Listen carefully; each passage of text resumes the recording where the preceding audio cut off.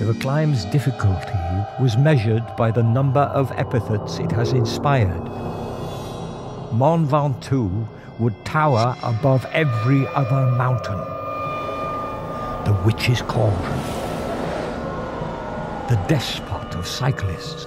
And most famously, what French philosopher Roland Barthes called a god of evil demanding sacrifice. The Ventoux is the bane of cyclists and a gift to myth makers.